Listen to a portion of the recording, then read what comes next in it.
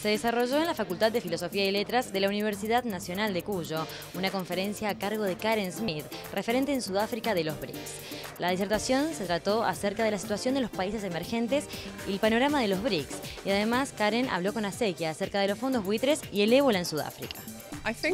Ella considera que Argentina eh, comparte muchos eh, elementos comunes con los países de BRICS, eh, sobre todo en lo que tiene que ver con el orden mundial y la gobernabilidad mundial, pero que hasta ahora no, no, ha podido hacerlo oír a esa inquietud suya, más allá de lo que sería el Consejo de Seguridad de las Naciones Unidas. Entonces, al integrarse, va a empezar a compartir junto con los otros países ese interés por hacer este cambio.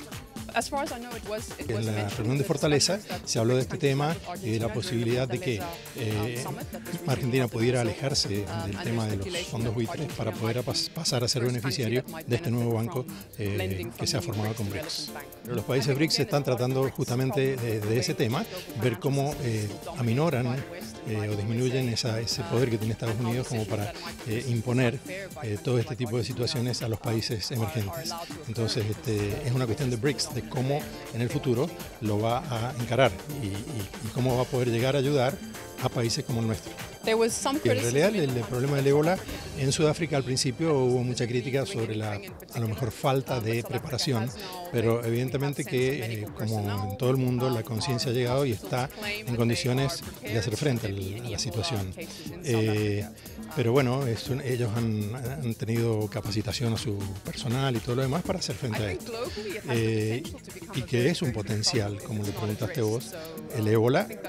Pero bueno, en el caso de si se, se encara como corresponde, bueno, habrá que enfrentarlo como corresponde también. Da un punto de vista este, desde otro ángulo al que habitualmente tenemos este, de información que, que, nos llega sobre todo de, de, mercados más cercanos a Argentina como puede ser Brasil. ¿no?